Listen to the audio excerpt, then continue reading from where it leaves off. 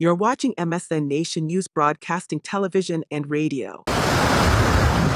This morning, Palm Springs is under a local emergency order as heavy rain from Hilary is causing dangerous flood conditions and prompting at least three swift water rescues. We're asking residents to stay inside, stay where they are. The mayor's warning is because of a situation like this.